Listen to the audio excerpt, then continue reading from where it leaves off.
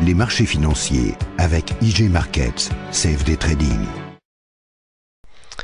Bonjour, c'est Gilles du site boursicoté.com. Voici l'analyse technique des principales paires de devises du marché Forex, ainsi que l'analyse de l'or et du pétrole pour les matières premières. Nous sommes le vendredi 9 septembre 2011 et aujourd'hui sur l'euro dollar nous avons une continuité du mouvement baissier qui est en train de s'accélérer.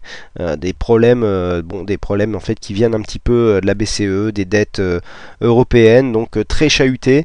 la paire euro dollar qui est en train d'enfoncer les plafonds, les, supports, pardon, le support de, de 1,3744 qui n'a même pas retenu les, les cotations et donc on a perdu euh, quasiment 500 euh, pips en, euh, bah, en une journée hein, puisqu'on était à 1,41 hier hein, sur les plus hauts.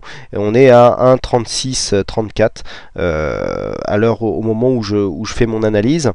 Donc voilà 470 pips c'est énorme hein, c'est une grosse grosse grosse phase de baisse.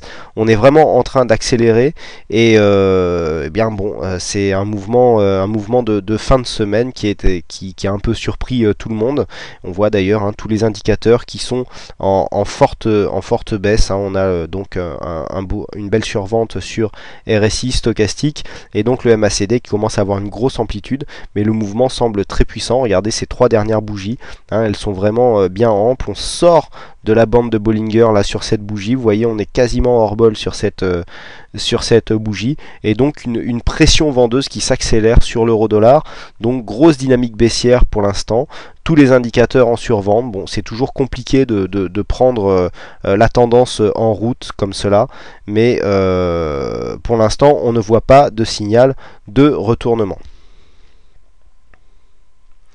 On passe donc au câble paire livre sterling contre dollar où l'on constate une cassure du support des 1,5930 que je vous avais indiqué hier. Cassure qui j'aurais pensé que ce support allait allait résister un peu plus, qu'on allait avoir un petit rebond technique, mais pas du tout. Hein. on a eu euh, eh bien, euh, les, indicateurs euh, qui étaient pourtant en zone neutre. Je pensais qu'on allait remonter, au moins marquer un petit rebond, mais pas du tout.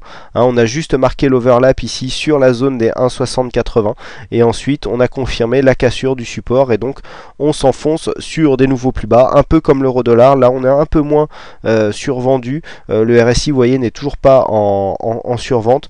On est déjà survendu au niveau du stochastique, en pleine dynamique baissière au niveau du MACD. Donc on attend de toucher des niveaux plus bas hein, pour se retourner et on attend surtout un point de retournement. Vous voyez qu'on est déjà en dehors des bandes de Bollinger alors que nous venons à peine de casser le support. Donc tendance bien baissière. Hein. On confirme hein, tout simplement euh, la tendance baissière qui est entamée maintenant depuis euh, un bon moment. Vous voyez on avait commencé doucement et ensuite là on est en train d'accélérer euh, la dynamique et donc la confirmation de cette cassure eh ben, nous nous, nous, conforte en fait dans cette tendance. Donc après euh, plusieurs fausses sorties, hein, bon, faut savoir que le câble est, un peu la paire euh, euh, dédiée aux, faux signaux et aux fausses sorties. Et eh bien là, on a une, cassure pour, pourtant qui a été assez directe et donc qui nous permet de descendre assez rapidement. Sur le dollar yen, eh bien fausse sortie aussi puisque nous avons eu une tentative de cassure par le haut de, ce, de cette résistance des 77-70. On a marqué une petite bougie d'hésitation juste après cette grosse bougie de cassure et puis on est revenu réintégrer. Et donc regardez, toujours très technique hein, les mouvements sur le dollar yen. Eh bien nous sommes venus nous repositionner juste sur la zone des 77-10, hein, euh, support résistance que je vous avais euh, repositionné en, milieu de semaine. Eh bien on est venu euh, rebondir sur zone qui correspondait, qu'il plus est, ici à la borne basse, donc la bande inférieure de, Bollinger. Au niveau des indicateurs, on serait plutôt légèrement baissier, même si en dynamique euh, MACD on serait plutôt à la hausse.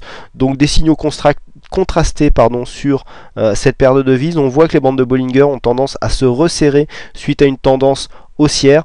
Donc on serait plutôt en phase de, de, cassure de cette tendance court terme. On voit ici qu'on a un mini support qui était en train de se dessiner et que cette, cette bougie ici est venue casser la dynamique. Donc cassure de la dynamique haussière qui on était parvenu pourtant à se hisser au-dessus de cette fameuse zone des 77-70.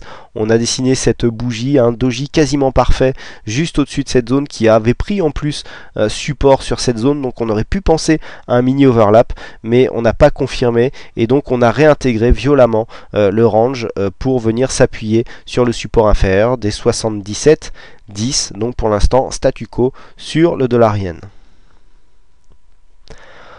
Tout de suite on passe à l'or, donc finalement le rebond que je vous avais euh, indiqué ici eh bien, est en train de se développer puisque on voit bien la dynamique haussière qui se met en place sur le MACD avec une situation technique légèrement survendue surtout sur le stochastique, moins sur le RSI.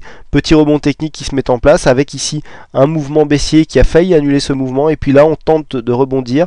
Donc sur ce mouvement il faudrait vraiment aller casser cette zone ici des 1887 dollars l'once pour continuer sur une tendance haussière euh, du point de vue euh, de l'or. Pour l'instant, du point de vue de la dynamique moyen court terme, on est toujours sur une phase haussière, mais il faudrait vraiment confirmer rapidement une cassure de ce précédent point haut ici des 1921 euh, dollars l'once, puisque on a sinon on aurait un double échec qui pourrait se transformer ici si on continuait à osciller et à ne plus marquer des plus hauts de plus en plus haut, eh bien avoir un signal qui pourrait aboutir à une cassure ici du support haussier qui donc mettrait, euh, eh bien, mettrait de la pression vendeuse sur le métal jaune. Pour l'instant, la dynamique est bien haussière. On voit le MACD qui est toujours en train de monter. Les indicateurs ne sont pas encore en surachat. Attention au stochastique qui vient ici euh, fermer le signal haussier en croisant sa ligne de signal. La ligne de signal est hors de zone de survente, ainsi que l'indicateur, donc pour l'instant pas de signal baissier, mais ici on voit bien un affaiblissement de la tendance haussière court terme. Et on termine donc avec le pétrole. Le pétrole où je vous disais hier qu'il faudrait euh, valider une cassure de la résistance haussière euh, de ce biseau. Le biseau est montant, donc normalement la sortie est descendante. Eh bien c'est le test que nous aurons prochainement puisque là après un rebond sous la résistance baissière on est en train de redescendre euh, vers, euh, ce, support. La dynamique est très baissière on voit un beau signal sur le stochastique et sur le MACD un très dynamique très régulier et idem pour le RSI qui est, qui est bien baissier.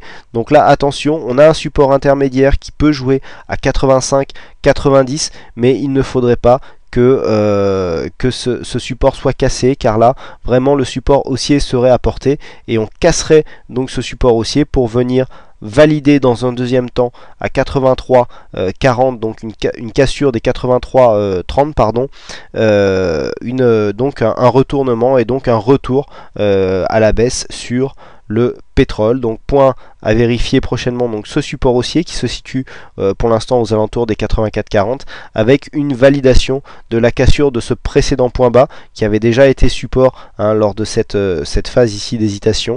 Et eh bien donc euh, la zone qui se situe actuellement à 83,24. Hein, bon 83,20, 83,30 c'est une zone de support, hein, on n'est pas au point près. Donc attention, une cassure ici de ces zones pourrait nous replonger dans une tendance baissière.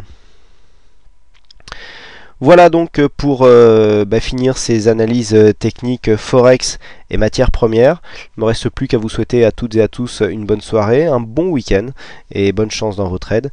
Et je vous donne rendez-vous dès la semaine prochaine pour de prochaines analyses en vidéo. Les marchés financiers avec IG Markets, Trading.